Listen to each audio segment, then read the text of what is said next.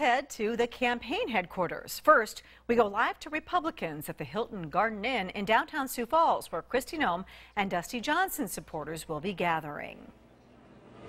Well, this is the center of the South Dakota GOP universe. Tonight I'm here with candidate Dusty Johnson, vying to be the only representative that South Dakota has in the U.S. House. Uh, Dusty, how's the day going for you so far? It's going really good. We started out in Rapid City. Uh, we made our way across the state. We're ending it in Sioux Falls. We feel a ton of optimism and excitement out there. You know, nobody knows what the day is going to hold for sure, but we couldn't feel better about our chances. Okay, so what's going through your mind right now? Are you excited, nervous, a little bit of both, or just kind of living in the moment? What's, what's happening? Mostly living in the moment. I mean, for 18 months, we have been traveling the state, 100,000 miles, shaking a quarter million hands. We have interviewed for the job. We think we've aced the interview, but now it's up for the people of South Dakota to make their decision. Less than two hours left until the polls close. Any last minute words to voters who still haven't gotten out?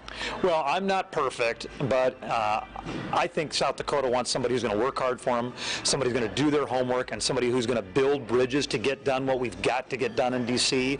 If that's what you're looking for, I'm going to be honest with you, I am your guy.